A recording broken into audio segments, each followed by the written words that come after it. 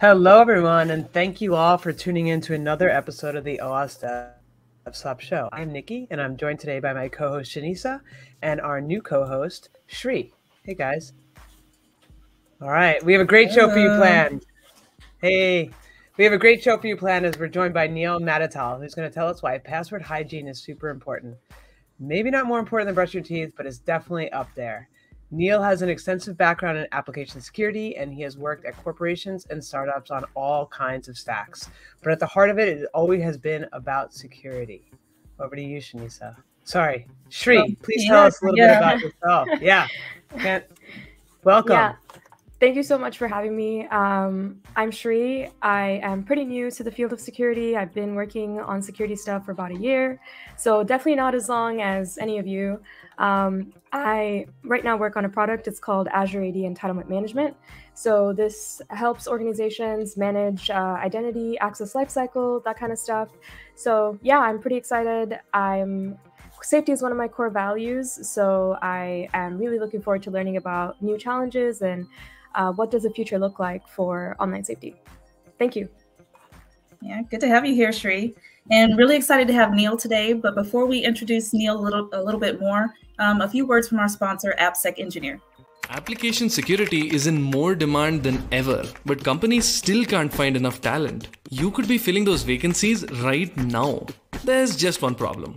A career in AppSec means learning new skills in both offensive and defensive security across disciplines like DevSecOps, cloud security, threat modeling, and more. Whoa, that sounds like a lot. but don't worry, we got you covered. AppSec Engineer is an all in one training platform with over 30 courses in 8 fields of AppSec. Every lesson comes with hands on labs so you can practice all your skills to perfection. All that for just one subscription, like Netflix, but good for your career. If you want to learn AppSec, you gotta do it right. You gotta choose AppSec Engineer. Get started for free today. So thank you for being with us here today, Neil. Um, we're really excited to learn why MFA isn't enough to protect ourselves from mass account takeover, and I will let you take it away.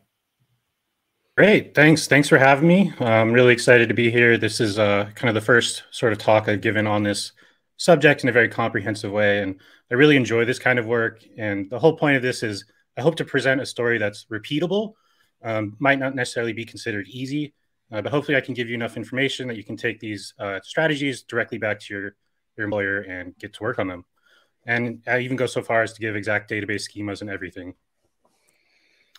So just kind of setting the stage, this is a purely hypothetical story. It is based on, on a collection of work. Um, so this is a fake company named SVN Slop. And if you don't know what SVN stands for, um, it was a popular version, well, it's an older version control system um, that came before, you know, Git, which is now sort of mostly taken over. Uh, just again, sort of setting the stage of where we were. This is a you know hypothetical year, ten years in the past, whatever. Um, we've made the service very easy to use. You know, it's a very simple command line interface or a GUI interface. It's very easy to get started because all you need is a password. There's no complicated setup involved. Um, and as, if, as it came to your actual account, the only options available to protect you were actually 2FA and rate limits. So your password couldn't be brute force, which is obviously you know a big deal. Um, but if you wanted sort of any extra protection, you had to opt into 2FA. Um, at the time, we sort of felt good about where AppSec was. You know, XSS and SQL injection weren't really a concern of ours anymore. So kind of investing more in that area didn't make a whole lot of sense. Doesn't mean we can completely abandon it, but uh, you, don't, you don't need a whole team of people working on that if, if things are in a good place. But the, the sort of source of, of new information did not come from internal assessments or external assessments or bug bounties, but instead from support requests. People would write in and say, I didn't write that comment, or I didn't delete that data, or, I, you know, my, my account has been completely taken over. Um, you know, traditionally we'd say like, oh, like, was there an XSS bug? Was there SQL injection? But we just said that like, no, like we're pretty sure those aren't the problem. So what is the problem? Um, we didn't really have a good idea of what was going on because our only source of information was when people are right into us, letting us know that their account, you know, has been hacked. And it can be easy to sort of, you know, put this on the user in a sense. You know, you can say that they might have been phished, or maybe there's malware or a malicious browser extension. It's really easy to blame these things, um, but in the end, it's just you know we have to make it easy for humans. And the frequency at which these things were happening and sort of the breadth of the accounts that were involved did not seem targeted in any way. It just seemed like a very high volume. So, you know, we had 2FA, but our accounts are getting hacked. That is a clear signal that you cannot depend on 2FA uh, because people won't use it. And, you know, honestly, I can't blame them. It's kind of a mess. And I think it's really easy for security pros to sort of get up on a soapbox and, and shun anyone whose accounts got hacked because they didn't have 2FA when the same security pros are getting their accounts popped for not having 2FA as well. Uh, 2FA mandates work well in the workplace in which you can control all the access for your users. But if you are not in control of your users, or you know, you cannot just ask your admin to reset your 2FA credentials, it's not going to be anywhere close to 100%. So uh, this is a survey from Connor Gill. He, he, keeps it sort of updated. This is all self-reported. There's there's no really like standards on this, but nobody really has any motivation to lie about these numbers. So let's just assume that they're true. Um, one to 20% across all the companies is not very good. Um, if you look at the very bottom there, we have Dropbox at less than 1%. Granted, this number was in 2016. I would be shocked if that number changed drastically. Um, someone like GitHub is at 15%, which is just astronomically high when you compare it to someone like Twitter. Um, you know, you could say that the user bases are different, and that is true to some degree, and that will reflect these numbers somewhat. But if you think GitHub is a site full of technical people that only has 15% adoption, that's pretty bad. Um, and you know, can you really blame people? Like everyone's had that experience where they got locked out of a 2FA account, myself included. Um, it's really annoying to get your account hacked. It's even more annoying to not be able to access your account legitimately. Um, the experience is inconsistent across all different sites. Some are SMS, some are OTP, some are both, some are a little bit of uh, security keys, uh, the recovery stories, backup codes, backup phone numbers, account delegation, social verification government ID verification. You know, depending on, on the application, all these different options can be wildly confusing. And again, a security pro might have experienced all these things in their life, but you cannot assume that the 85% of people who don't enroll in 2FA haven't had one of these bad experiences before. And just to sort yeah, of dig in. Oh. Sorry, I was just going to say, I think just very recently, you're able to now export your Google Authenticator um, co- like you know all the accounts you have onboarded to a new phone if you were to get a new phone because i've definitely been through that where it's a giant mess if you're migrating phones to re-enable all of those accounts on your new phone so i hear you it's it's not user the user experience is not always so friendly there so on that point about google authenticator and about the fact that they only recently added backup support I feel comfortable saying that Google Authenticator is one of the biggest contributors to people not liking 2FA because they've been in that experience. It was the most common OTP application for the longest time. It didn't support backups. Things like Authy came around where you could back up your OTP codes and store multiple in the same place. And the idea of putting your OTP codes in 1Password became really common. And guess what Authy and 1Password have? Backups. Um, you know, it's it's you know, I think the second line here, you know, new phone, who dis? Like every time a new iPhone would come out, there would be a wave of people who are locked out of their accounts because, you know, they when they transfer their apps, they didn't realize that it didn't transfer their OTP seed, and they were so you know interested in getting the money back for their old phone, they just deleted and shipped it off before actually you know using their phone. And you know, to say that is an uncommon experience across technical and non-technical people would not be true. Totally. Um, so Google Authenticator, I blame you. I heard that, that there's something called Microsoft Authenticator I'm not yeah. at all biased at when I say that this is a great product. So when so uh, in our, in our documentation, we would uh, literally suggest clients and exclude ones we didn't want to include, um, and then the Microsoft Authenticator started to gain popularity, and so we said like, does this meet our criteria? Does it survive backups? Does it have some sort of recovery mechanism? And it absolutely did. So I, I feel comfortable recommending Microsoft Authenticator as well. Um, so, like I said, 2FA implementations across the internet are very inconsistent. Um, I think SMS is a great option for most people because it is the easiest. It survives new phones. Um, you know, it, people getting new phone numbers is not unheard of, but it's uncommon. Um, some people have had the same phone number their entire lives. But you know, it's it's been in the news lately because some high-profile targeted attacks would use uh, SIM swapping to gain access to that phone number. Um, whether or not this is an actual attack that could bother you is up to you to decide. But I think Google has said it's pretty good. It's good enough for almost anybody. I tend to agree with that. Um, another big problem is it's phishable. you know, nothing's stopping you from entering an OTP code on a, on a phishing site. It just means that there's two steps instead of one to phish your account. Um, we said already talked about app-based and, and, the problems there. Like if you don't have a, a backup system or recovery system, you're going to get locked out eventually. Push-based uh, 2FAs become more common. I think Duo might have been the first time people experienced this experience. Uh, Twitter added support for it. Uh, Google has a lot of support for it as well. And it's you know it's it's kind of cool because there's no there's no secret stored anywhere really. It's it's just kind of like push based interaction. There's there's cryptography involved, so it gets you know engineers really excited to work on this sort of stuff. Uh, but it still suffers from the same problem. If you don't have a backup story and you get a new phone, could go away. And again, it's still phishable. There's nothing stopping you from pushing that button after you entered your password on a phishing site. Um, WebAuthn is the future, but unfortunately, it's not ubiquitous. Uh, WebAuthn is, is kind of a, a way to ensure that your credentials are origin bound, so they can't be used on a phishing site technically, unless there's like a bug in the implementation. Um, but asking people to buy security keys isn't really scaling. I think we, have seen that over the past like five years or so. Like even if you offered U2F or, or FIDO or WebAuthn, they're all kind of the same thing. Um, I think GitHub published a number that was like 1% of their users have ever used one of those in their lives. So um, if, if we're hanging our hats on something that 1% people can use, that's terrible. But I do think that the feature is going to be much brighter. The, the concept of a user verifying platform authenticator is a very fancy way of saying Face ID. Um, logging in with Face ID everywhere is going to be very common, or, or uh, Microsoft's uh, Windows Hello is, is another implementation of this. Google Android also has like a biometric based thing. Um, so lots of people have these phones, but not everyone. And I think as the years go on, um, you know, that'll become more and more common. And lots of people carry their phone everywhere they go. Not very many people carry their security keys everywhere they go. Yeah. And I think to your point, it doesn't scale if you think about, you know, consumers. From a business perspective, it's easy to hand out keys, buy keys for individuals. But if you think about a kid who's going to school or, you know, teachers or those type of things, it doesn't scale well at least not right now. I don't know any kids that carry keys, but then again, I don't know very many kids, so without losing yeah, that too.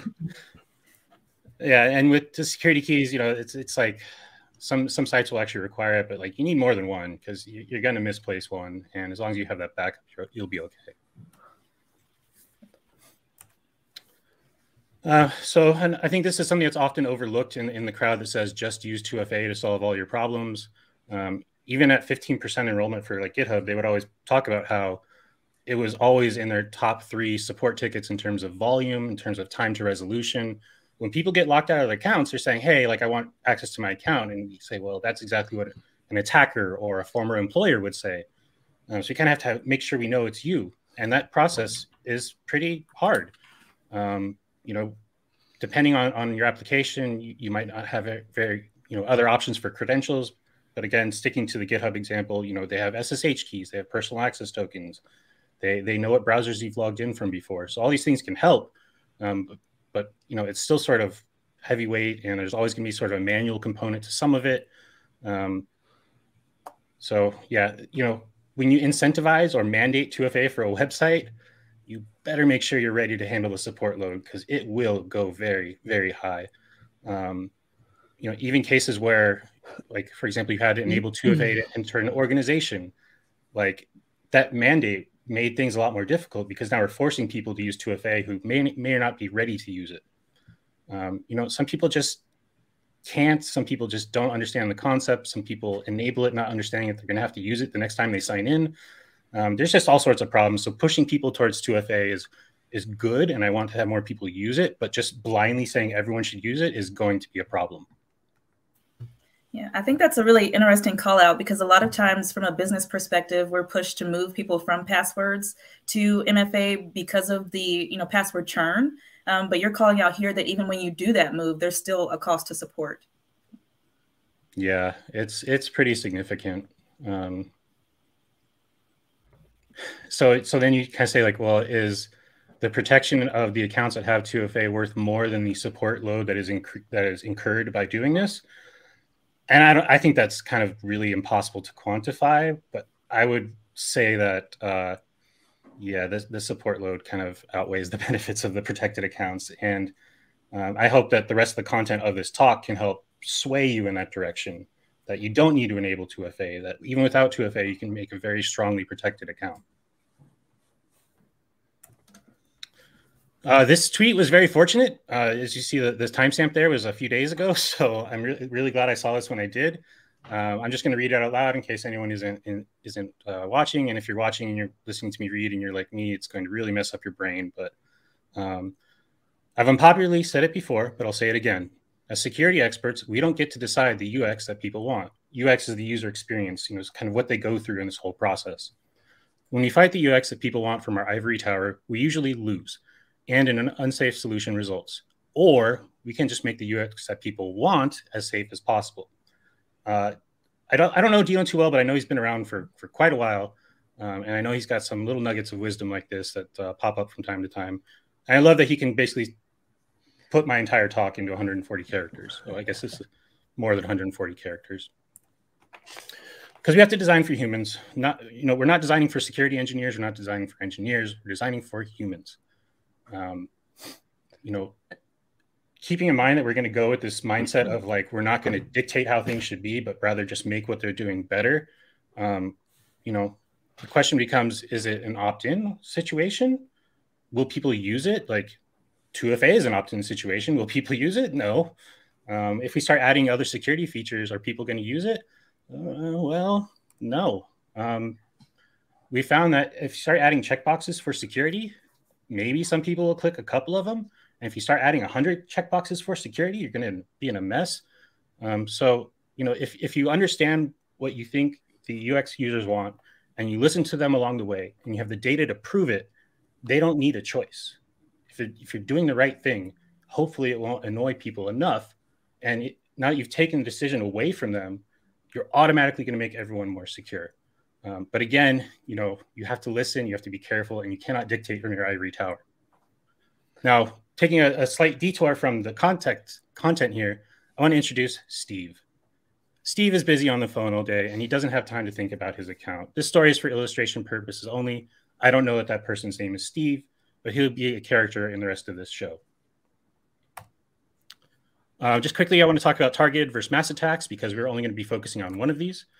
Um, here's the targeted attacks column. We're going to be focusing on mass account takeovers and how they differ here. Uh, target attacks, hard to detect. Mass accounts, set off alarms. Target attacks, hard to measure. Mass accounts, easily quantified and, and trended.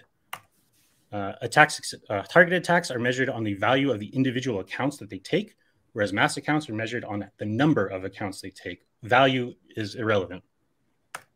Target attacks are hard slash impossible to stop. Mass account takeovers are not very sophisticated. Target attacks, exciting, cutting edge, cyber, blinking lights, mass account takeovers, big snoring sound, not very sexy. Uh, target attacks is where we tend to focus our efforts and thinkings and what's in the news and what's in the hypothetical, what could happen. And mass account takeovers are where we more or less hope people do the right thing.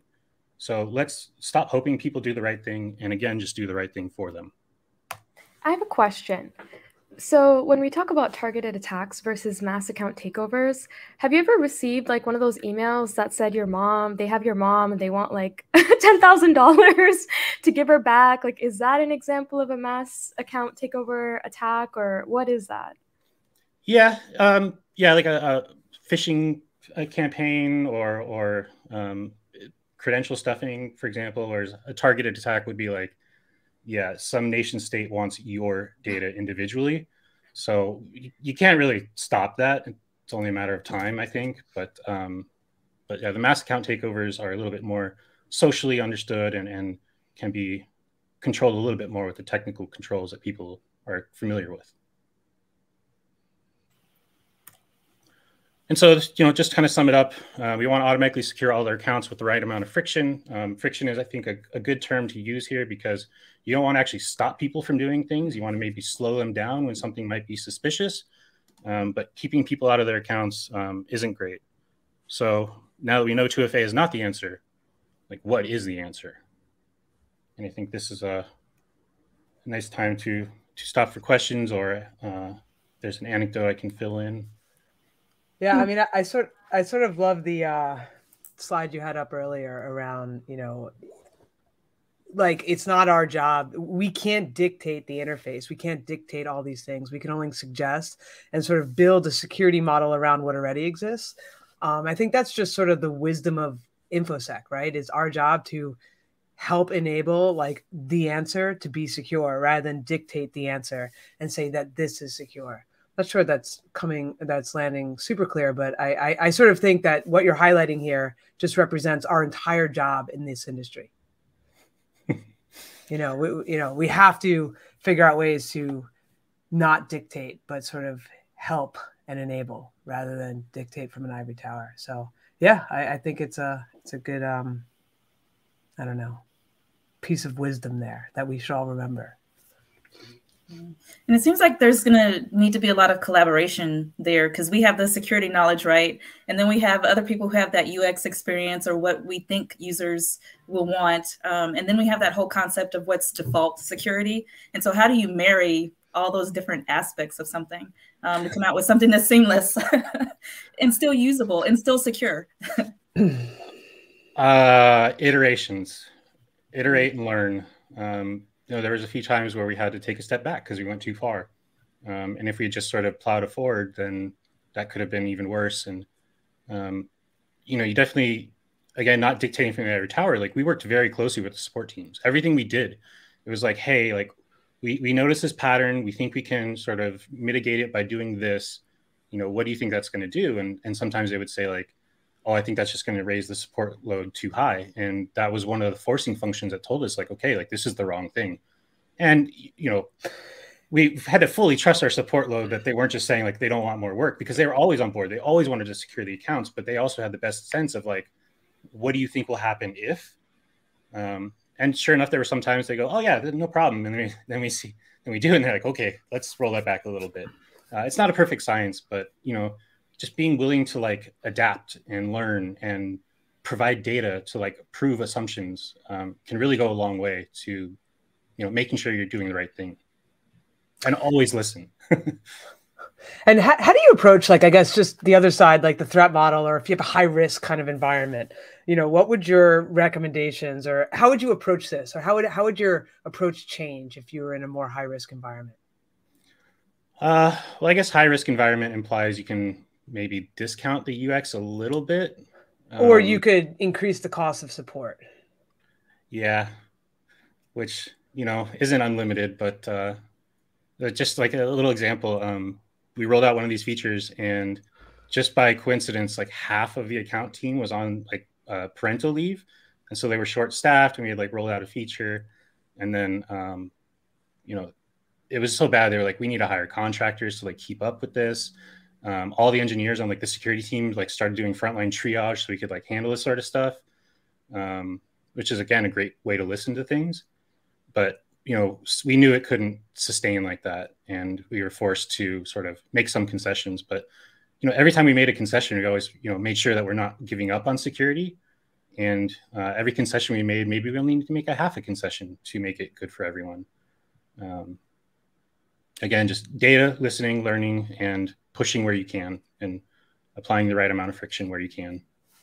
You know, for like Twitter, for example, was so anti-captcha. Like no matter what you did, they would never have a captcha on a website, and it was just like, like you know, they wanted accounts, they wanted tweets, they didn't want to put anything in anyone's way, and like as a result, like you know, they had some issues with automated accounts and things like that. So sometimes you don't get the choice because the product demands it and you can only fight so hard or sometimes the security need is so high that you can sort of skip some of these things but yeah it just just depends yeah. do, do you think in that consumer environment you know non corporate or enterprise where you have that control over the user do you think the problem is services not always offering mfa or the problem is the mfa that they do offer is is totally unusable for the average user uh, I would just say that fundamentally 2FA is a problem for the average user right now. Um, okay. But yeah, again, in the corporate environment, anyone can use 2FA because all you got to do is email your sysadmin to, to reset that. Yeah, sure, um, totally. And, and, Neil, is there a particular reason why you're calling it calling out 2FA versus MFA? Um, and I'm just harping or picking on this because I heard Nikki say MFA and then you said 2FA. Um, so any any differences there as to why you're focused on 2FA? So that is a great question. Uh, I only say 2FA because it's like a habit and I can't stop saying it. Uh, I do think MFA is the more accurate approach here because sometimes it's not just two steps. Sometimes it's like one and a half steps. Sometimes like it can be one to two steps depending, um, or or three. So MFA is definitely the, the more accurate number. I maybe one day I can stop saying 2FA. all right. So what do we do? We're we're at this place where we're like, all right, MFA is not very usable. We got to come up with some other solutions here to secure user accounts. What what what do we do? So uh, the first thing I would start with is having an audit log for your application. Um, an audit log is just kind of like a, a, a, list of events that happened, maybe with some metadata. Uh, it does not include sort of you know everything, but it's supposed to be uh, comprehensive enough to sort of give you a good story. So the most important thing is that the read only. If your audit logs are mutable, then what is the point of them? If the data can just change, they are not a, a record of history, but a guess of what could have possibly happened. Um, so making these things read only is incredibly important. The event happens and the data around it doesn't change. You can enrich more data, but the, the core fundamental data can't change. Uh, you want things to be reasonably comprehensive. So not every click on a page is important, but the important events are pretty obvious. Um, know, and you also want to make sure they're very thorough. It has to include enough information to actually recreate the event itself. You can't just say a thing happened. It probably needs some context around like what was happening, when that happened. Um, so there will be hundreds of events. Uh, you know, pretty much when every new feature would be util- being built, it would be like one of the considerations is, you know, what are your success metrics? What is your audit log going to include? And, you know, among other things. Uh, so it's just kind of the habit of doing these things. And, you know, this isn't just useful for security. It's useful for debugging. It's useful for the support team. It's useful for incident response. If you can now create series of events based on an audit log, that saves you a lot of time going around digging through other logs, trying to like correlate all this data and try to create a story. So, you know, audit log events could include like enable this feature, created this page, uh, changed their password, uh, you know, added an email address to the account. All these things sort of have different uses in different contexts, but they're going to be valuable to anyone trying to understand what's going on in the account. Uh, natural sort of progression from audit logs is taking some of those very important events and turning them into some sort of notification system. You know, email is probably the, the most simple way to do this. Uh, if you have sort of an in-app notification system, that would also probably be a good way to do this. Uh, not necessarily saying you should send a push message to everyone's phone, but maybe certain events do kind of demand that. So for your notifications, you want these things to be high confidence. You know, if, if there's a chance that this is a false positive, uh, you, you send someone a false positive and they're going to mark you a spam. That's that's what you want to avoid. You want to make these notifications very terse. So use fewer words, get to the point, use consistent language, use language that is well understood across international boundaries, especially if you're in an English only environment, um, because you don't want these things to be to be confusing. You don't want to include a bunch of irrelevant information. Um, you probably want to link off to some documentation so people can read more, or just to, you know tell them where they can reach out for more information. But that's all. Uh, text versus HTML emails, I think, is kind of up for debate. I tend to prefer text emails, but I do think I am slowly losing that war. Um, the other thing is these emails need to be consistent well designed, not only the language, but the formatting of them, where they come from. You know, phishing emails will try to emulate this, and most fall pretty short. There's usually a typo or something. Um, so make sure your emails don't have typos. Uh, if people start thinking your emails are phishing, they will also go to spam. Yeah, totally. So quite back to this, two questions on this. I mean, I think Facebook does a communicates with you on facebookmail.com, which is a non-standard face. Well, I mean, it's their domain, but it requires that little extra search of like, is facebookmail.com actually Facebook or is it a phishing site? It's a little weird. Um, but back to uh, notifications around suspicious activity. Let's just say you're an organization how, how do you know what suspicious activity is? We talked about logs and enabling audit logs, but what is like the journey there of saying good, suspicious? Like, is there, how, how do you do that? Or how do you even begin to do that? Uh, well, certainly it feels awfully uh, subjective, but you kind of, I think, yeah, yeah, look over your audit log events and just kind of bucket them between, you know, dangerous or not dangerous, and then what does dangerous mean? Um, I think dangerous in this context would be sort of anything that changes the access to an account. So if your email address changes, if an SSH key is added, uh, or if like an access token is added, or if a OAuth application is authorized, you know, anything that can either be used to access your GitHub account or use your GitHub account somewhere else is probably a signal that you should be notified. Um, so yeah, right, I, I, don't want to say it's obvious, but using that criteria of like, will this change the level of access to my account is a pretty good starting point. Um, but and then so once you have that list, then go through it a second time and then go, is this really important? Because um, again, you want to keep that that list pretty short. Well, the notifications aren't just limited to email, right? Like you also get SMS notifications, and like now they're weird looking spammy SMS ones too. Like for instance, Chase Bank sends me alerts on SMS. So I guess like how can people distinguish what is a legitimate SMS versus like a fake one? Uh, I mean, short codes kind of help, but I don't understand why they haven't completely taken over. Um, like Twitter's been using short codes for like 10 years, and as far as I know, they haven't really had too bad of a phishing problem. Um, this, this isn't this is probably a little bit too edge casey here, but um, you can actually format the SMS messages in a way that, like Apple, for example, will automatically fill them in the web browser so that they're like origin bound, for example. I think that's a really cool technology, but that doesn't really necessarily stop phishing in a sense that if you're like not using Safari when you got that text message, I don't think you get the protection. Um, but anything that's kind of like origin bound there will help. Um, but yeah, and then so in addition to SMS, I kind of talked about like like push messages are also an option. If your application has like in in application notifications, that's a pretty good place to put them too, because some people just won't read their emails or they've already marked you as spam. Um, so just just another way to get them in front of their face without you know uh, interrupting their day is always going to be helpful.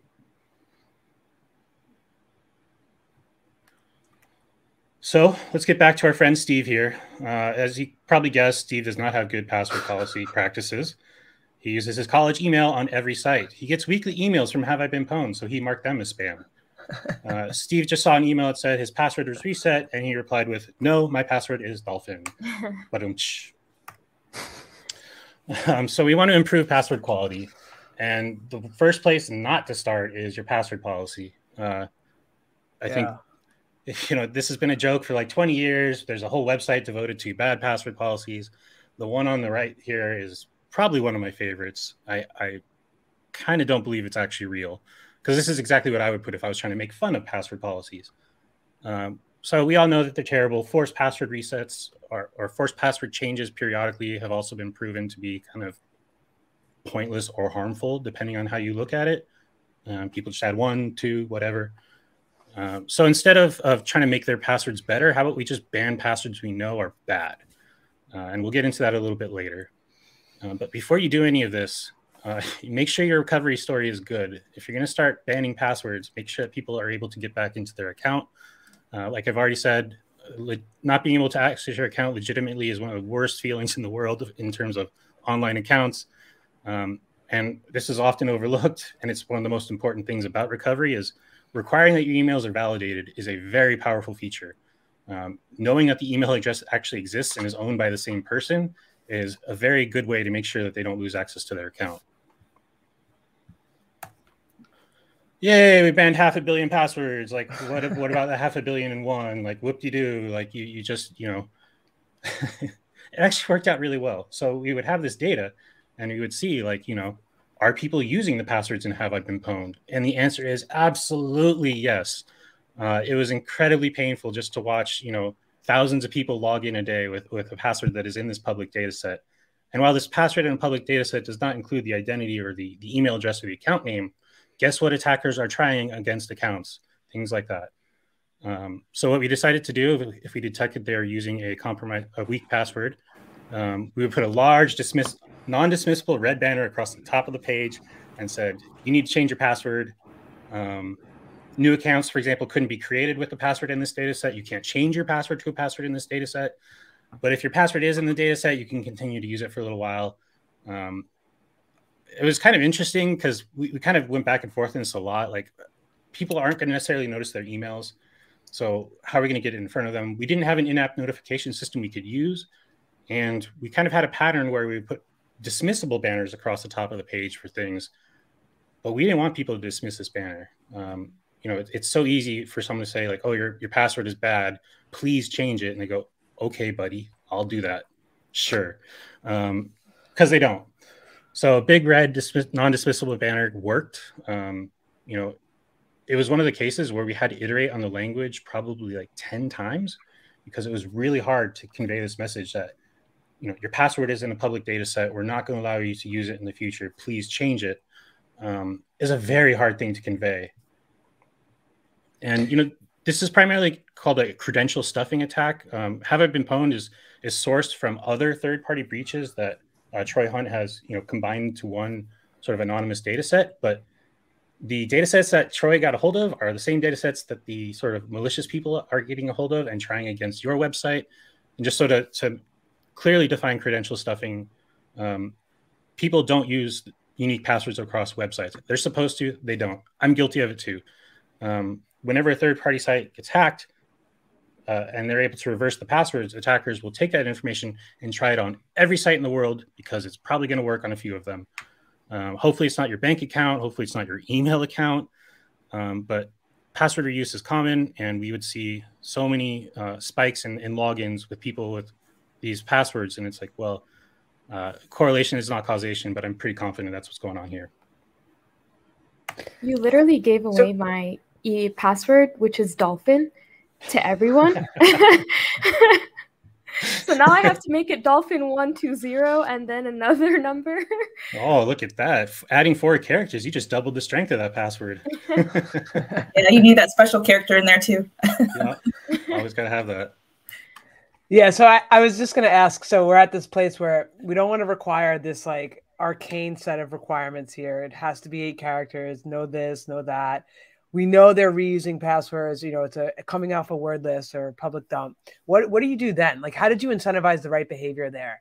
Once you had this like non-dismissible banner, did you give them a form field that was like, here's suggested good passwords, or did you leave that up to them? What did you do? Um, we decided the only thing that we would promote is the use of a password manager. So we would tell people if you're using a password manager to randomly generate a password unique to this website, that you will never run into this problem again. And as long as your password is sufficiently strong, and most password generators do generate sufficiently strong passwords by default, um, you know, if your if your random account gets hacked on this site, there's no chance it'll be hacked in this site. And um, enough, while your password might end up and have I been pwned, if it is pwned in the future, even though it's a strong password, if you generate another one, the chances it's going to match something in that data set is basically zero. Um, so we banned a lot of bad passwords, but we did not ban very many passwords generated by a password manager. And even if they were, again, randomness says it won't occur on another site. Did you just know? How did you know they were using a password manager? You just like sort of verbally or in the message bar try to incentivize them to do that. There was no other technical way of. I guess it's crazy. How would you know? Yeah, uh, yeah. I did. I did want to try something where like um, you know, if someone's typing their password, there's going to be a lot of key down and key up events, or maybe right, there's a, right. a, copy paste event. And so if you're able to fill in your password super quick, you're probably not typing it. Right. But I don't, it, yeah. it didn't really feel like a, a, super accurate way. And it would probably be false positive prone. And some random password manager is going to do something funky to like make that not work. We never actually tried it, but it was kind of, instead, you just really fo- focused on the social aspect. You know, the message said, use these password managers. Just like the 2FA, we were very opinionated on what people should use. Um, and same thing in our documentation. We just really hammered home it. If you're using a password manager, you will not have this problem. And by the way, here's all the other benefits for using a password manager.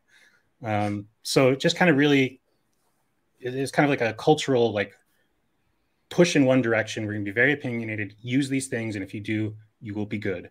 Not here are the benefits of password manager here's how they're generated here's how the keys are stored you know none of that none of that just the, the social aspect of it sure yeah well, how do you know that the password manager is safe? That's one question. And then the second thing is, let's say I generated an automatic, I don't know, password on my MacBook, but my phone is an Android, and now I have to remember this like 20 key something something password. Like, yeah, how does that work? What do you suggest there? Uh, so I think the primary criteria is that it can be accessed from multiple devices. Um, you know, we did kind of take the, the, reputation and kind of, I don't know, like uh, we kind of took their word for the security posture to some sense. So we wouldn't recommend just like some random password manager, but um, we also didn't want to recommend something that would be too complicated for the average person. You know, there's plenty of ways you can store your passwords locally in in a local vault, and you can manage that, and you can share across your devices. But that's not even going to work for me. Like I use 1Password, I'm fine with that. Um, it's a great tool. It's across all platforms. Um, it's not the only one of its kind, but it's it's a pretty darn good one. Uh, but the primary criteria is yeah, being able to recover all your passwords in a safe way, and then being able to access them on multiple devices, um, which works great. But there's no 1Password for like Nintendo Switch, for example. So your phone, your laptop, probably okay, but your Amazon Alexa Show does not have a password manager either. And when that thing forgets its password, I get really annoyed. yes. oh yeah. Alexa heard that. I always talk trash. Um, okay, yeah. So uh, I guess anything else on that? I'm going to kind of dig into like the how it works. Yeah, keep going. Um, so basically, we just take all the passwords from Have I Been Pwned. They're stored in SHA-1 format. We just jam them right into our database, um, and then we just do a lookup. Now you can call their API, and I would say there's no security implications of doing so. It's an it's a password without a username, so it's it's it's okay to send. But if you don't want to rely on a third party service, um, I definitely suggest you download the data, plop it in a database, and then it's a simple uh, select statement query there. But you know, a lot of people go like, "How do you know what my password is? Like, what do you are you sending my like? Is a third party telling you my password is bad? Are you sending my my password across to some website? Are you sharing my account? Are you hacking my account? Are you storing your passwords in clear text? Was another thing we got a lot. Um, no, we are not. We only use a password when you give it to us. And when do you give us a password? When you sign in, uh, when you created your account, when you changed your password during a, a sort of pseudo prompt where they ask you to sort of re authenticate an authenticated session, when you make an API call with the password, when you're using subversion with the password.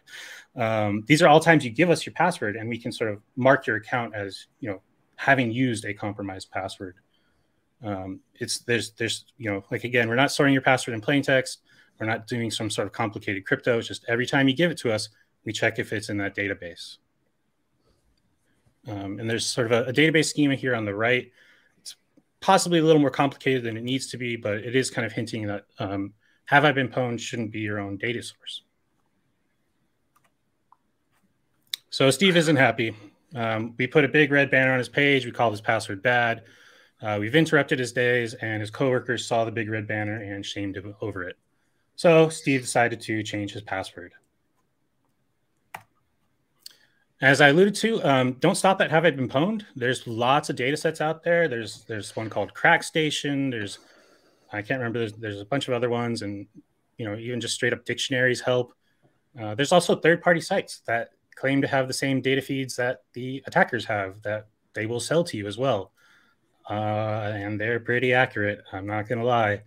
Uh, almost to the point where like I wonder if they're just creating these accounts and then just giving us the passwords of the accounts they created because they are scary accurate. Um, so I, I, I, really suggest you go beyond to have it pwned. Now, if you're adding new passwords, what could go wrong, right? Well, when we first rolled out our initial data set, you know, we didn't force anyone to change their passwords. They just put a big red dismissible banner um, but eventually, you're going to want to force people to change their password. So give them a 30 day countdown, for example. Now, what happens if you ingest a new da- password data source and my password that was considered okay yesterday is now considered leaked? Are you going to lock me out right away? No, again, you need that 30 day window because if I show up to work tomorrow and I'm on call and there's an incident and I have to reset my password because like a complete surprise, that would be really, really annoying. So the 30 day window is great you know, you can store a timestamp along with the user that says when the password was discovered, encrypt that so the lack of a value does not indicate, you know, that the account doesn't have a compromised password. Um, and then just sort of as that 30 day window comes, the next time they try to sign in, force them to go through a password reset. It's a pretty good flow, and we did not get very many complaints from this as far as I know. And yeah, um, like I said, I, the compromised password stuff, I think it's really undervalued in the industry. Um, even starting with Have I Been Pwned is a huge improvement, but going a little bit further uh, can really go a long way. Um, I'll talk about it a little bit more later on and how kind of I know this worked. But with enough data, you can see that a suspicious login is coming from a compromised password as a pretty strong signal that uh, that account is in trouble. And you mentioned other sources to look for compromised passwords. Can you just dig into that a little bit more? Do you know like the sources? Like I guess you know a lot of the browser password managers, you know, do this now. Do they all API to have I been pwned, or are there like other lists out there that are consumable? Um, I would be shocked if if people are going to be relying on an API like that. So I'm pretty sure they're also ingesting these things. Um, I don't know where, for example, Google gets their their data source from, but um, the more sources, the better. I don't want to list off any like private companies because they're all sure. know, people who sell this information. But you know, googling around, you, will find a couple, um, and I, I, strongly suggest you look into those. Um, they aren't free, but they are very valuable. A strong and, uh, indicator that your Hulu account may have been hacked is when you sign in and there's a random profile for Rob. And you're like, who's that? well, Hulu should have sent you a suspicious message, though, long before. I don't think, I don't want to bash on them, but I don't think that they sent me anything, which is the other uh, thing I was going to ask. Like, what happens when you don't get that message? like uh, you know when these notifications get dropped or i guess like can we just count on email as a reliable um, source for something that may not have an in-app like notification service or push notification? Like how do you tell people? Yeah i would say that maybe 5% of emails are seen and acted upon. Um, that's actually, you know, that's probably not fair, but there have been times where uh, the success of something solely depended on emails, and that did not work out. Um, I can, I'll talk about the specific example later in the talk, but uh, it's a really hard thing. But you you have to do at least emails. Um, you know, the, the banner in the application was something because we knew we we needed 100% coverage on this, um, and the eventual forced password reset kind of solved the case of like they never saw the banner or the email. Um, but it did take us a while to get to that point. So I'm a bit curious about this banner. I'm sorry. Go ahead, sorry, Nikki. Go ahead. No, no. Go ahead. Go ahead. Yeah, I was just going to say I'm curious about the banner that they can't dismiss. And did you get any support cases around that, like people who were angry that they couldn't finish their work because they had to address this banner? Uh, so as as a lot of people might understand, when you have an anonymous support inbox, uh, people aren't very nice to it. Uh, you know, this was another one of those cases where the engineers were kind of on the front lines of the support, triaging the tickets, you know, seeing what people are saying.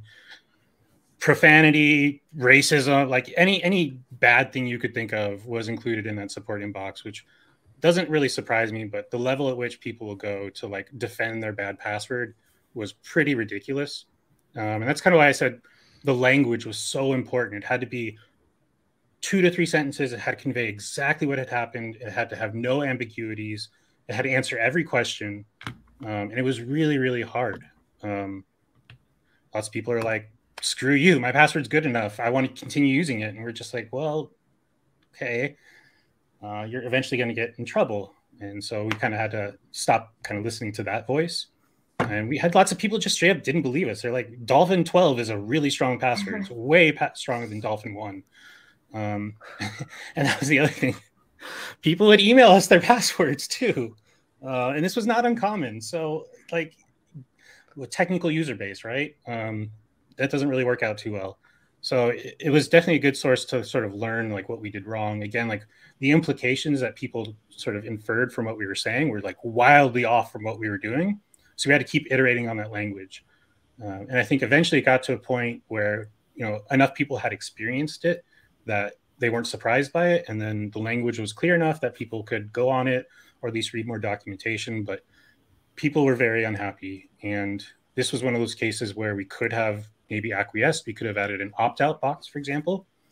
But we decided to stick to no opt out. Everyone has the same experience. Please change your password.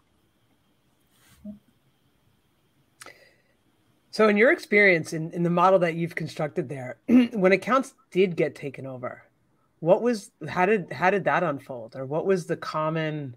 What did you observe during actual account takeovers? mostly credential stuffing. Um, so from the bad passwords, the Dolphin one two t- style type credential stuffing. Yeah, well, and then also again, like uh, malicious people get attack, get a hold of third party breach data, and then they just try that directly. Um, but yeah, the number of like times people got phished, or the number of times like I don't know, it's really impossible to tell whether it's malware. Um, but you know, people would let yeah. us know, like, yeah, I totally entered my password on this third party site. Like, I got phished. I know it. Some people didn't know it, but when people's accounts start doing things and they start receiving notifications in their inbox about email addresses changing, uh, they would write into support and go like, "What's going on here?" Um, and support would always say, "Reset your password." and yeah, sometimes there was like themes to like it would come in waves occasionally, and that's kind of when we're thinking like, oh, like there must be a new phishing site or something, or yeah. must be or something going dump. around. Yeah, or some big. Yeah, more likely it was always a big dump. Um, yeah, and you can you could even see it in the data. Um, like I don't know if these were different actors, but like the pattern was like almost exactly the same as if they were trying the same email addresses and same passwords in the same order because the graphs would look the same. It's like, oh, there's a bunch of passwords that were in Have I Been Pwned that went up. Oh, look, it happened again. Like it's two different people testing the same data set or something. Um, it was, it was uh, I don't know if fun is the right word, but it was interesting to watch.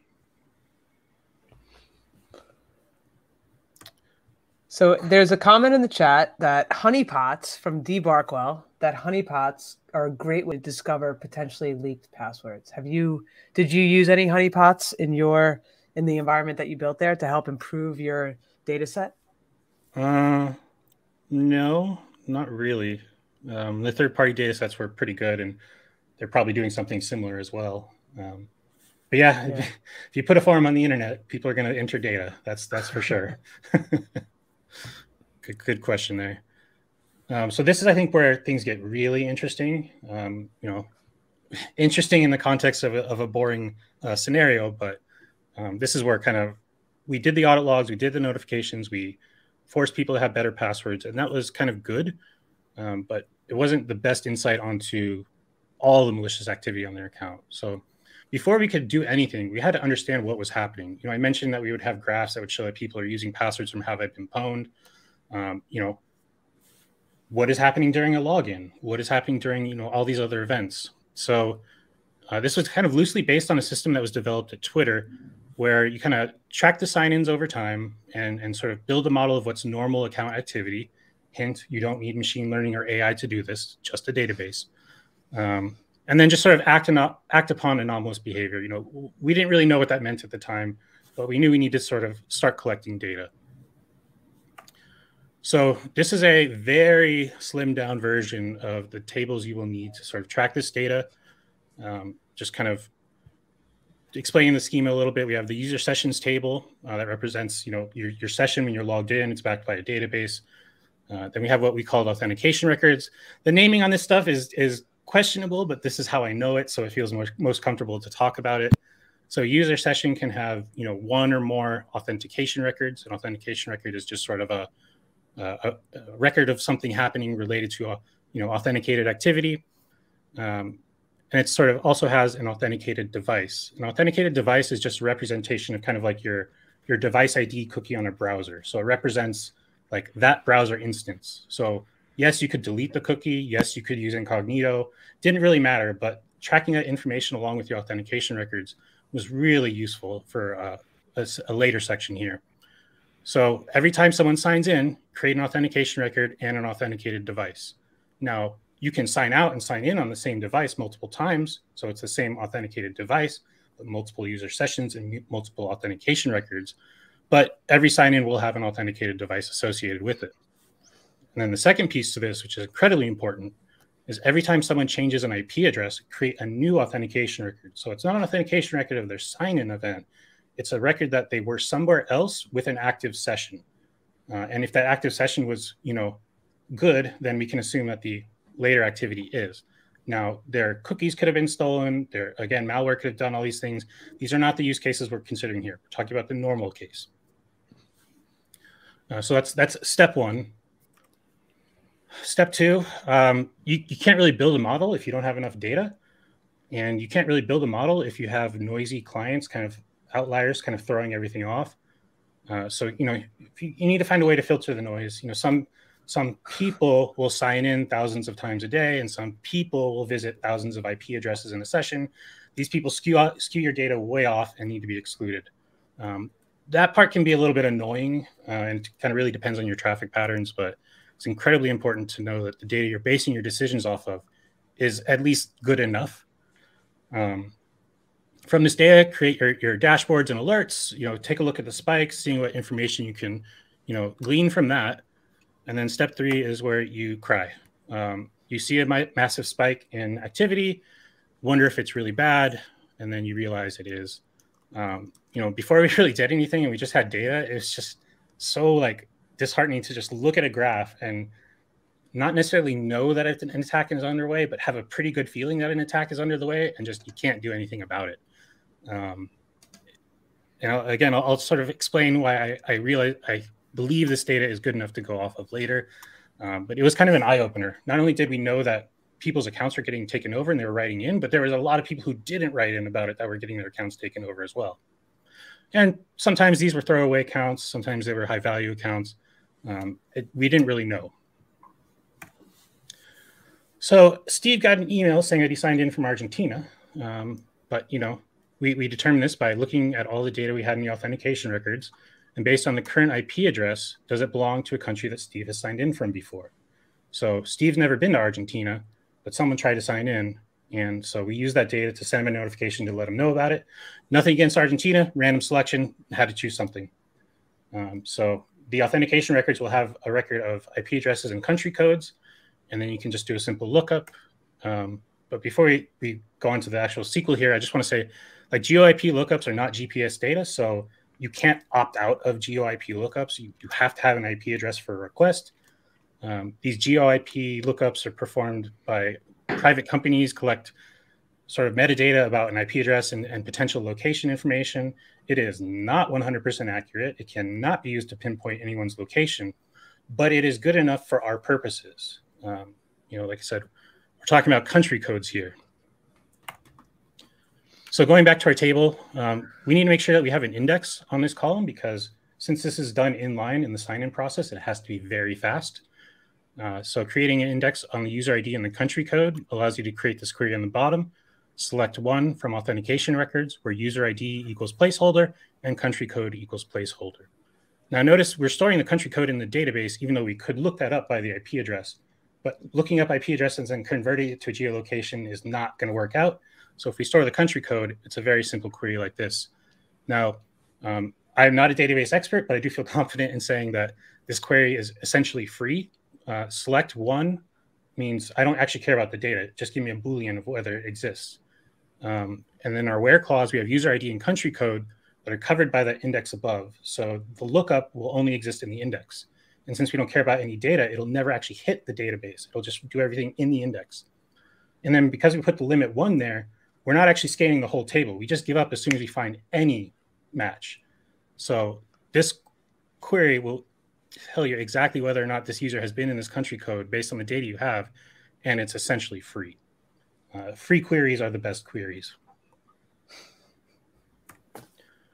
But uh, I kind of debated if I want to take this slide out because the stuff that's going on in the world is actually a perfect demonstration of why borders are not the best measure of suspicion. Uh, there isn't a single map that the entire world would agree on, but again, uh, we're not looking for for precise and highly accurate or um, politically uh, agreeable situations. We're just trying to put some sort of boundary on where people may or may not travel. Um, some people never leave the borders of their country. Some people cross multiple on the ways to work. So you need to sort of think about both of these use cases. I think there's the other piece of using VPN and browsers like Tor as well um, to consider here too. Yeah, um, in our experience, like that that does happen, but those people are kind of used to the extra friction involved. Mm. Um, so if you sign in from all 200 countries, you'll never get an or 200 plus countries, you'll never get an alert about it. And you know maybe you're okay with that threat model because you're you know how to use a VPN and uh, maybe you're you're like you said using Tor and you're you're always incognito and that's fine. but those people already kind of accept the extra friction that comes with their their usage patterns. Yeah, they may maybe those fringe cases that you talked about. So yeah, um, and again, because I I don't think that's super common, it it wasn't really worth uh, considering for this, but it was something we at least talked about and kind of knew that yeah, someone who visits all the countries loses this protection, but that's going to be pretty rare. Um, most people, I, I, don't, I don't want to. I'll just make up the data, but it was most people never visit more than like five countries, um, and that's pretty good considering how many there are. And we talked about maybe going like a little bit more precise, like region and things like that. But with the the imprecise data, it is going to be too false positive. Um, but yeah, um, so I talked about the the border case, right? Like if you're going to Europe, if you're in Europe and you cross three borders on your way to work, and you do that every day, and you just happen to sign in from, you know, the border that's in the middle on your way to work, and you get an alert, you're like, I come here every day, and you're warning me about a sign in that happened. Like this isn't very useful. Um, so we want to make sure we don't spam people uh, with with unnecessary alerts. And this information has actually always been available on the website, but no one ever seemed to care that it was not super accurate. But as soon as you turn on notifications and you start getting false positives, people care. Um, but the rate of false positives here was pretty low, and it was always like someone like, yeah, like I logged in for Portugal, and you said it was from Spain, and like they live like right on the border. Like those things sort of happen, um, but the the true positive rate was high enough that the false positive rate didn't really bother us, and people really reacted on these emails. You know, they they, when, when you see your account has logged in from a country you've never been to, that's a pretty good sign you should act upon it. Um, yeah, any, any questions on that data model? We did go over it very quickly. I don't, I, I like to say it's easy, but if it doesn't seem easy, that's a problem with the delivery and not the implementation, in my opinion. So um, definitely would, would entertain all questions here as well. What about the device? that seems like pretty good signal. New device. It Did is a very that in, signal. Was that in the model as well? I mean, I saw it on the screenshot. Yeah, that's. Uh, I believe that's the next upcoming section. We're going to oh, talk sorry. about that. But you're right. It is incredibly useful. Um, you know.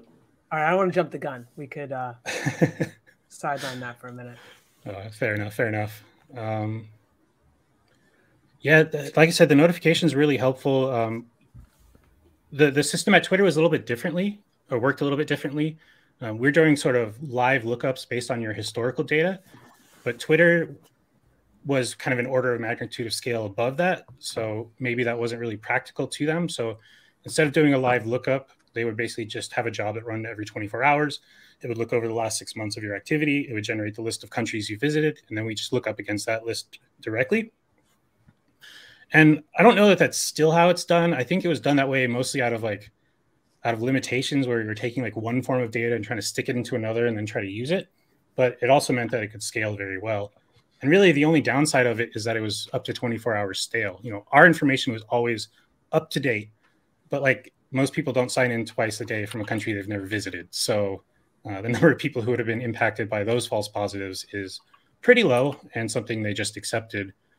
Um, I thought about going that route as well, but um, it just seemed a lot easier just to plop something in a database rather than have to do some big data query, transfer the data, populate it somewhere else, and then query it.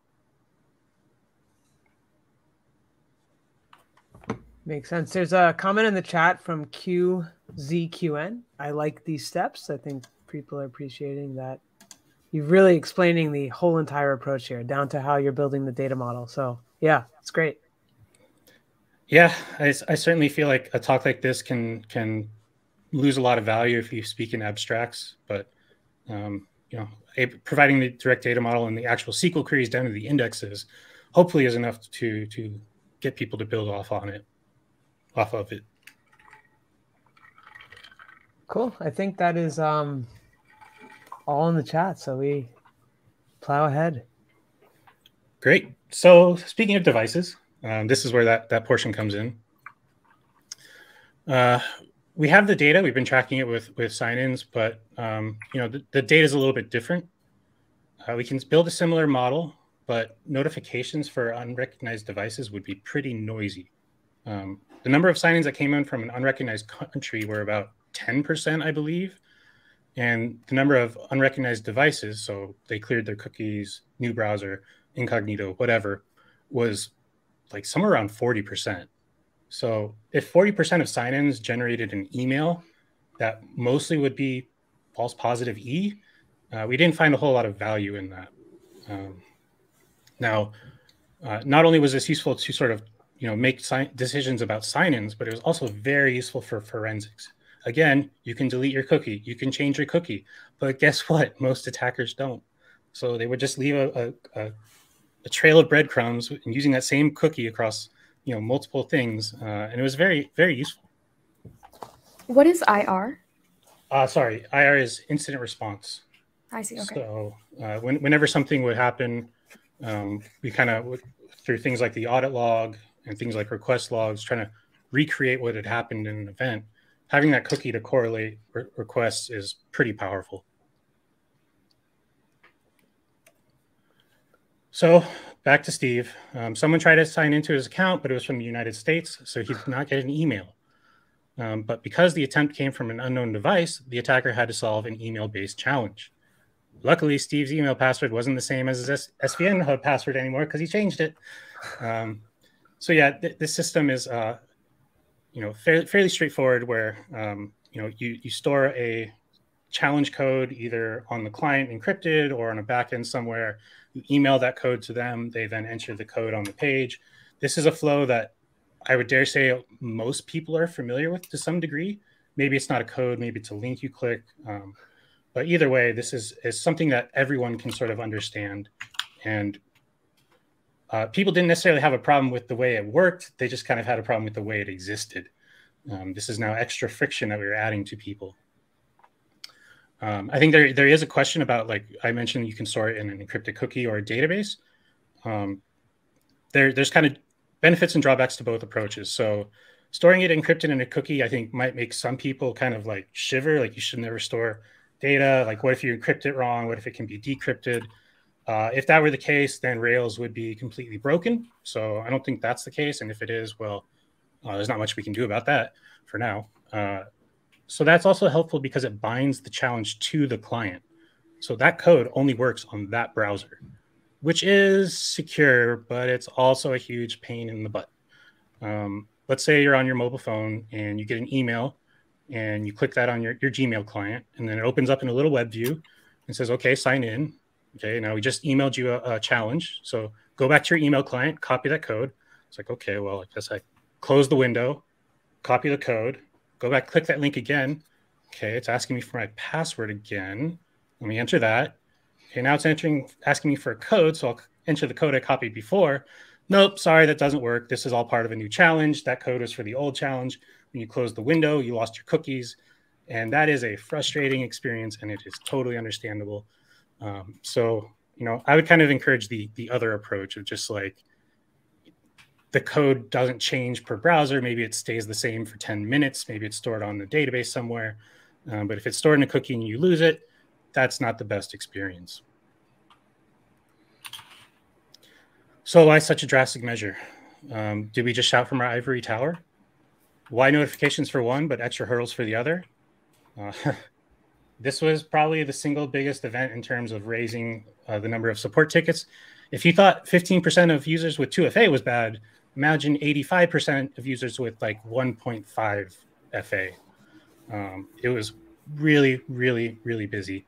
And like I said, it, it, happened at a bad time because support was on parental leave, and like our team was actually on like an offsite trip, and so we had just shipped the feature, and we are trying to like, you know, deal with this at the same time. It was very difficult. Again, engineers were the front line of triaging. We heard a lot of people's pain. We understood it. We made a few concessions based on some of the extra data we had, but we knew it was only transitory. Um, and you know, some people liked it, some people didn't. So how do we find out if it was a unrecognized device? Um, nothing changes about the way we're recording the data. Again, we're going to create an index. In this case, it's a unique index because there will only ever be one user ID and device ID combination. If there was another sign-in, we would reference that record. Uh, again, limited database knowledge, but I do know that adding that unique constraint to the index does make it faster. Um, and then we same thing. We have our select for select one, limit one, so only one record. Uh, user ID and device ID, those are in the index, so that's super quick. Now, verified at is not in the index. So, like, why is that okay? Because there's only ever going to be one record. So, it only has to check one one one table or one row whether or not that column is null. So it's not as fast as the fully covered index, but it's practically the same. And I almost wonder if that unique index kind of overcomes that problem. Um, so the verified at value, you know, by default is null when you first enter your password. We create the authenticated device record, but we not, do not mark it as verified. Once you solve the email-based challenge, we mark it as verified. Um, so that's that's a little bit of a complication, and it might be an implementation detail, but again, this is what we did, and this is what worked very, very well. Uh, Steve's a busy person. Uh, he hates waiting for those stupid emails, but you know what? He's still not going to use 2FA. Uh, you know, 2FA is still worse in his opinion. But let's talk. Let's introduce another character, uh, Joe Hacker here. Always uses an incognito session, uh, so his life just became a major, major pain. They always use a unique randomly generated password. They will not turn 2FA but they, they does use a small set of IP addresses. So maybe it's okay to skip the challenge if they're coming from one of those. So again, we have all the records of the sign-ins. We used the country codes at one point, but now we can use the IP addresses that says if this isn't a known device, but it's a known IP address, uh, then you can go by. Now, we did consider this use case in the initial rollout, and we did talk about it at length, and we did decide not to support this use case in the beginning. But the response was overwhelming, and we knew we had to sort of acquiesce in this sense. So um, this was a case where I think we had gone too far. We listened to the people and we gave them the user experience that they wanted. Now we sacrificed a little bit of security in that sense because an IP address is not assigned to an individual. If you're behind a large NAT, you all have the same public IP address. Um, but we didn't think that was a big enough risk to sort of change any of these things. And if you happen to be on the same address as a person you're trying to attack, well, that's probably a targeted attack at that point. And like I said, we're not focusing on targeted attacks here. And again, the, SQL query, uh, create an index on the user IP or user ID and the IP address. It cannot be unique in this case because, again, they're signing in from the same address. And select one, limit one. Uh, the where clause only includes things that are in the index. This query is essentially free. So, um, you know, we've added all this protection with three essentially free queries, which is pretty darn good. Now, the most important part here, uh, clean up these tables. As you might imagine, these tables can get quite large. As you can imagine, those indexes that we put everywhere can get quite large as well. Well, not only shouldn't not only should you delete this data for like privacy reasons, but it's really not useful after like six months. Um, you know, if someone moves, their their pattern is going to change. So if I lived in the United States and I moved to Europe and I signed in from the United States and I haven't been there in 10 years, that's a problem. Um, so cleaning it up for, for data retention, cleaning it up for privacy, cleaning it up for, you know, the DBA's sanity, um, all good reasons to do it. But really, there's no reason to keep this data around forever. So that was the, the device verification flow. I, like I said, I, I try to simplify it to, to three queries, but I definitely don't want to, to dismiss any troubles that people would have. Um, I don't know if there's anything that I could kind of clarify in that previous section, but that was the meat of it. No, I think that was good. I got it. The chat's quiet, so I think uh, audience is is good on that. Cool, cool. Um, yeah. So in addition to the the people who sort of demanded the the IP address bypass there, and we called it a bypass. That's that's kind of what it is. Um, you know, again, the, the, question of opting out came in. Should we allow people to opt out of this behavior? And just like everything else, we decided no. Uh, if you really don't like this, try using 2FA because you'll get past this. And some people, you know, they said, fine, I'll, I'll, I'll finally do it. Like, this has become a bigger pain in the butt than using 2FA is. So I'm going to use that. Uh, you know, because again, like waiting for an email is, you know, even waiting for an SMS can be annoying sometimes. And email is always slower than SMS.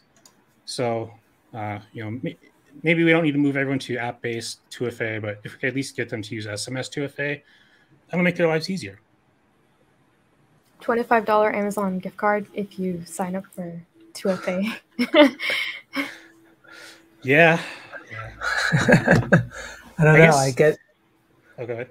no. It's just like they do that with the vaccines, and it's not that it's not working well either there. So, all right, controversial topic. But anyway, paying people to do things still, I don't know.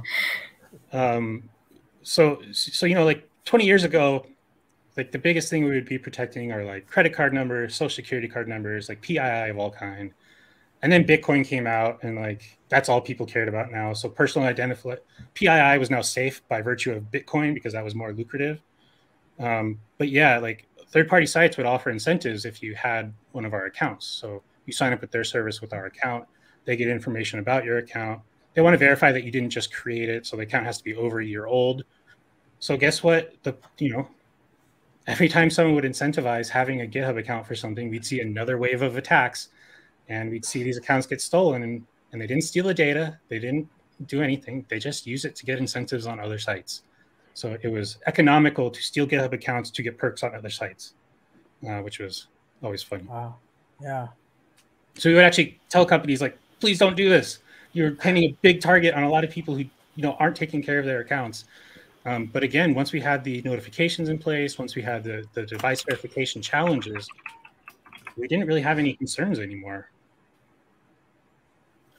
So we, we saw the uh, attack pattern change here. You know, we, we used to watch attacks against the website, and then they just plummeted and we knew this would happen. You know, like I said, we you can still use our password to use Subversion on the command line. You can still your, use your password to hit the API. So unsurprisingly, the attack shifted to the API. Uh, I think it was like a matter of days before we saw the first attack shift, and it was a matter of like weeks before everything had entirely shifted over to the API. Frankly, I would have started with the API because that's way more efficient. You can definitely check if account's compromised way more quickly with a web API than loading a web page and submitting a web form and yes, you can do that with an automated tool, but it's still going to be faster to use the API.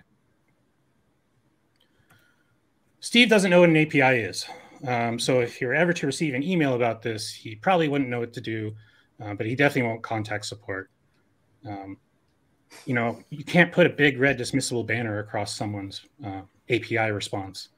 Um, so we kind of thought like, should we ban compromised passwords? Well, maybe, but you know, most API responses aren't consumed by humans. Most people won't read their email, as we've already kind of established. Um, so we had to kind of come up with a different plan. So instead of banning bad passwords, we just decided to ban passwords altogether. Um, we kind of came up with this stance that says passwords should only ever be used in a web browser.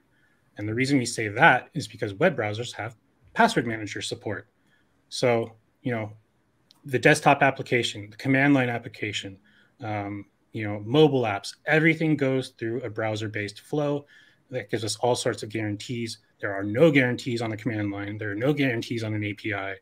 Um, but a password manager is again origin bound so that it can be protected from phishing. So if a password is never entered outside of a browser and the password only ever comes from a password manager, that is a pretty strong position to be in. But if you accept a password on a random API, kind of pointless. Uh, and I think this is really like all the all the things we did to get to this point were very important. But being able to declare that passwords shall never be entered outside of a browser was a good like you know way to think about things. So if, if something new came up, it would be like no, like we cannot accept a password outside of a browser. You need to work with this flow. Um, and that presented challenges when some of the API calls would only work with a password. Um, how do you ban passwords, but you have APIs that require passwords? Well, we had to get rid of those APIs, and we had to introduce new flows. Um, you know, the command line flow goes through the OAuth device authorization flow instead of again a password, uh, and it's just so much more secure, and it's such a better, better place to be in, really. So uh, once we banned passwords from the API, the next thing was to ban passwords against the command line interface. Um, we we did not expect to see another shift against this attack, and sure enough, that became true. Uh, attacking subversion with the password is not impossible, but it's also not very easy or well understood or as easy to automate. But we did not see any attack shift, so that meant that we stopped the attacks, and credential stuffing was no longer a concern. So finally, Steve can rest easy. Um, he really didn't do much in this journey. He did change his password once, so we have to give him credit for that. But now he can know that his account is reasonably secure. Um, and he didn't have to change his ways drastically. He didn't have to check any boxes. He didn't have to know about what to opt into. It just happened. And so, yeah, uh, how did I know we were successful? Like I said, we, we would every sign in would be tagged with whether or not it was an unrecognized device or an unrecognized country, whether or not it used a bad password. Um, and eventually, you know, once the attacks kind of stopped, we'd see that, you know, a, a consistent percentage of sign ins would come from unrecognized devices. A consistent amount of sign ins would come in from unrecognized country and devices. But if you ever saw the combination of both of them and that number spiked, that's a successful credential stuffing attack against your website. Um, that number is the scariest number. And as you can see, I've just taken two metrics and combined them into one, into the are we being attacked metric. Um, and uh, when that number fluctuates, it's bad. The end. Cool. So there's a a question in the chat that is around from Cleveland Josh. I'll, I'll just read it. Uh, is there a good paper or write up for understanding how to create or structure free queries? And then they go further to say, I understand your examples, but how do you break a use case down to make the query as free as possible? Um, so, database indexes are incredibly important. Um, they, and like I said, if, if, if, the columns that you're asking for or the columns that you're limiting your query on are inside the index, um, the database engine will search that data first, and it can search that data incredibly efficiently. Uh, hash tables, something, something, I don't know the details exactly, um, but it gives the makes it so the database doesn't have to scan over every single record that's returned. Um, and then in that one query with the uh, verified at column that was not part of the the index, um, had that not been a unique index and had there been multiple records with those matching user ID and device IDs, that would have been a slow query. That would have eventually been a problem. Because yes, you can limit it to those columns, but it's still going to have to go through each one individually. And you know, if you want to talk about like scaling, like if you have three records, that's not a problem. But if you have 10 million records and you allow this to exist, that will be a problem. Um, so if you if you're including data that is non-indexed, you need to make sure that it it will not turn into sort of a pathological case like that. Um, if you want to like Google a few terms, covering index, I think covered index, I think is the term. Um, and that'll kind of explain the, the benefits to that.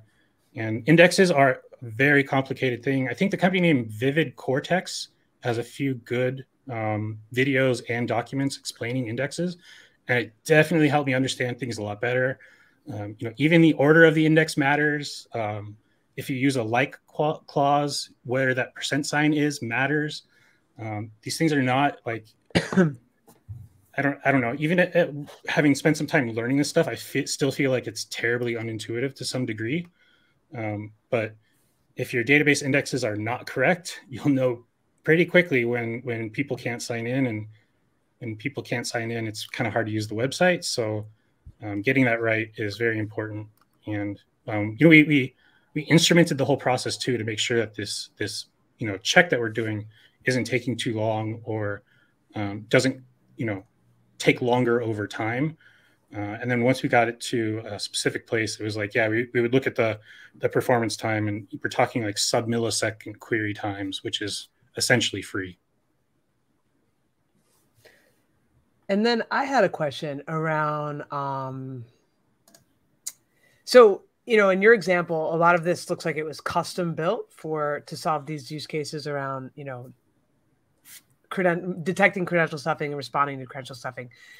It, are there any, like you mentioned, Rails? Does like Devise or more of these common authentication authorization sort of libraries? D- does anything out there help? Um, I don't know, incentivize this type of behavior or, or designing this, make it easier to design this? or are you on your own here, like kind of going off the road here, building this yourself? I haven't used Devise in probably like eight years or so, so I can't I can't speak to it.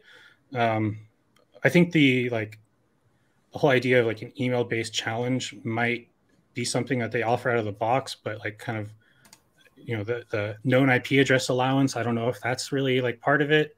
Uh, but yes, this was like a custom authentication stack, uh, and I, I mean, I know it, eight years ago, Devise was was a great tool, so I hope it's only gotten better, um, and at least maybe some of this is like pluggable to some degree. So if there's just like a, a hook that you can run on every authentication challenge to then add this code to, it's probably an easy way to do it. But yeah, I don't think you can just credential stuffing on checkbox sort of deal. Yeah, I mean, obviously can't abstract it that far. I was just wondering if stuff like this is getting built into common authentication libraries beyond Devise or you know any anything. But well, I guess speaking of common libraries, is like I'm pretty sure this is like a, a, standard of some kind that somebody has outlined, but I ha- I haven't read it, so I, I, don't think any of this stuff is necessarily novel either. So there there probably are other resources out there um, explaining similar systems. And it looks like we have another question in the chat from one tall lady 78. So, what are your thoughts on companies going away from passwords as being part of their 2FA, like Yahoo? They make it an option, but force most users to use other auth options before passwords. Yeah, this is uh, this is definitely a more of like a, I, I guess you would say like cutting edge sort of deal. And this also kind of ties back to web WebAuthn in a way, but um, the idea of like a passwordless flow um, is pretty common nowadays. I think the way Yahoo's works is yeah, like you sign in and they send a push message to your phone that then has a code that you enter, um, and you can do that without entering a password. And I think Microsoft, when you set up your accounts, they will just email you a code.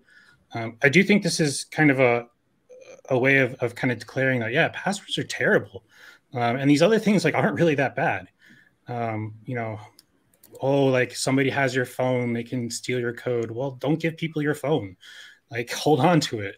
Um, you should you should do this, or like, you know, yeah. I mean, that's that's one example. Um, the Microsoft email thing is another. But I think is really cool, and I really want to see everywhere. And unfortunately, I don't think the technology is ready. I, I mentioned back to that WebAuthn thing. Um, WebAuthn has the idea of resident credentials, and apologies to everyone who knows what they're talking about because I'm probably going to butcher some of these things. Um, but there is kind of a way so that like your Face ID is your login. Um, you don't provide a username password.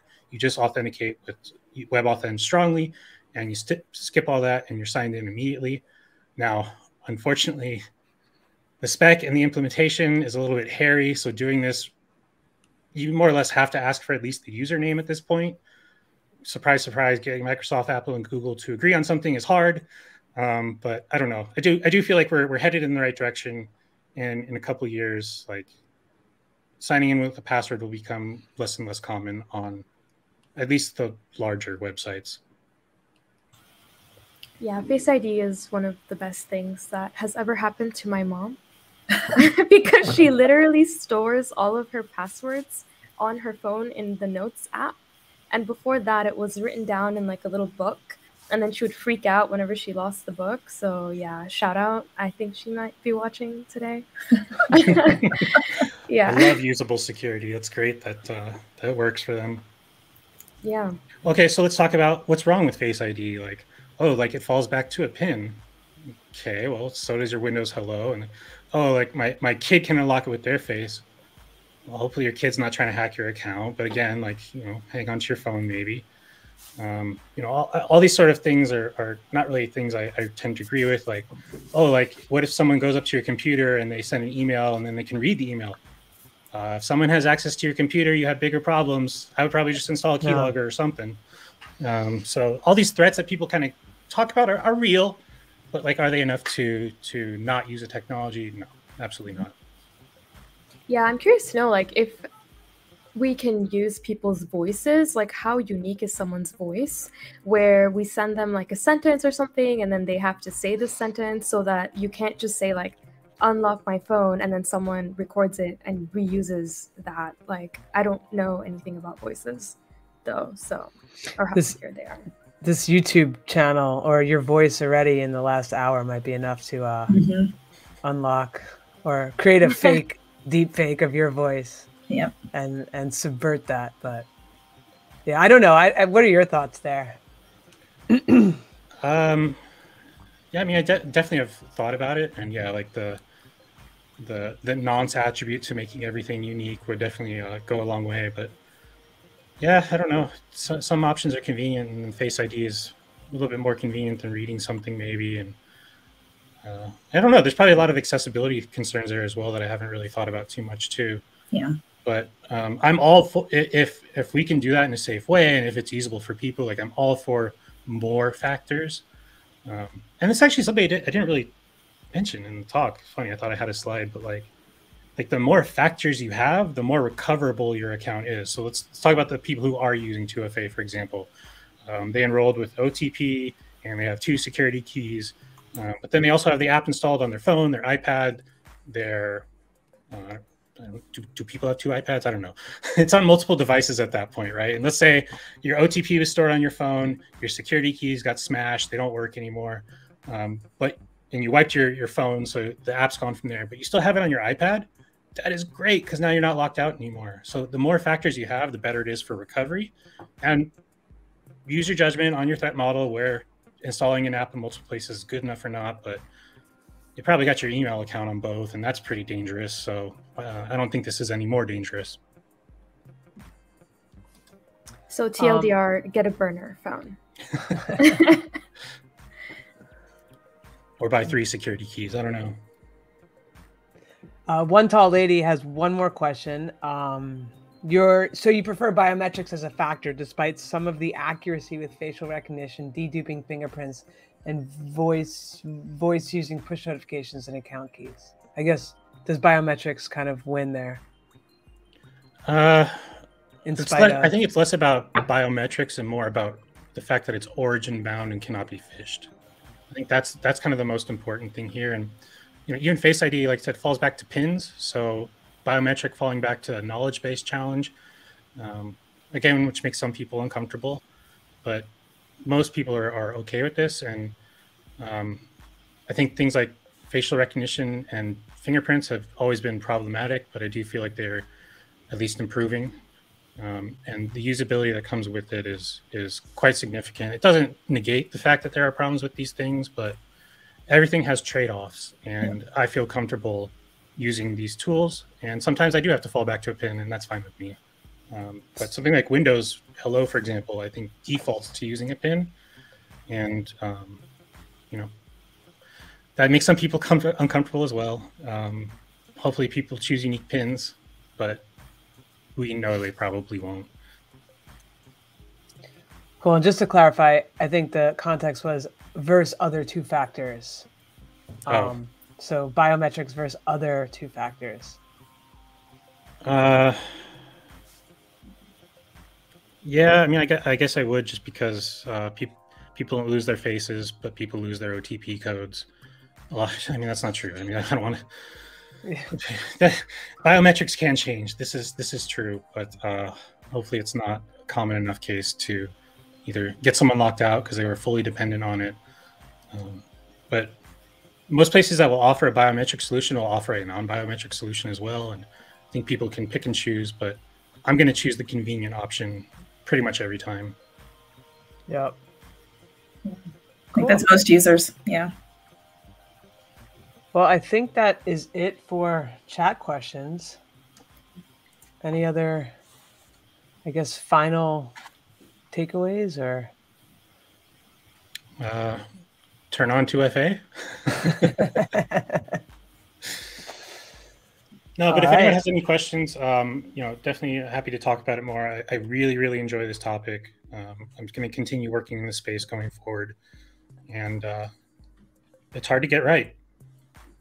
Yeah, no, and it's a good perspective, right? Like going against sort of that conventional idea that might not be as usable as possible with other alternative solutions that are equally as secure. I think is a really great thing for the security industry to always reevaluate right? Because we make these assumptions and then five years go by and we're still there.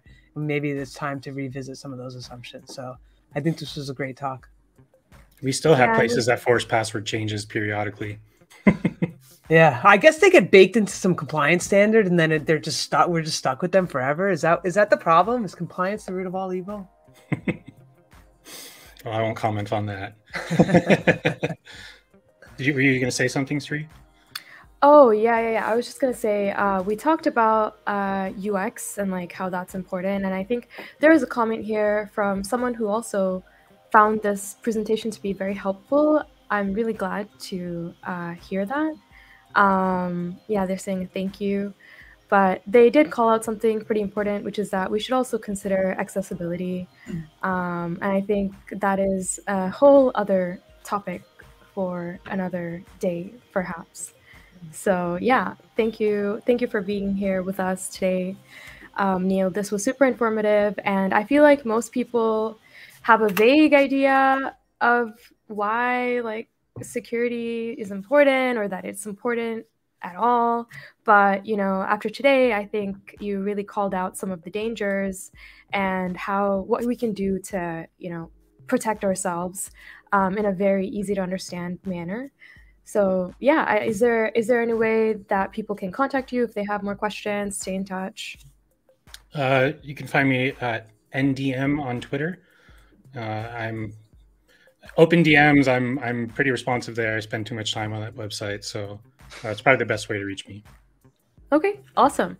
Well, if you guys liked what you saw today and you want to see more, check out the DevSlop YouTube, where you can find older episodes. And I think uh, at some point, this recording will also be up there.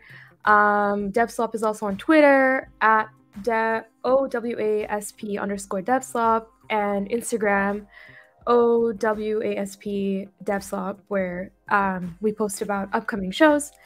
Next week, I believe we will be joined by Or Weiss, who's going to talk about building modern access for cloud applications. You can find all this info in the description of the show's recording on YouTube, along with our hosts and our producers' Twitter and LinkedIn handles.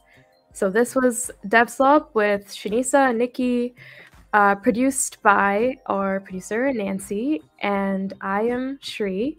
We were here today with Neil. Uh, yeah, thanks for tuning in, and we'll see you next week. Bye. Thanks, everyone. Bye bye. Thanks, Neil.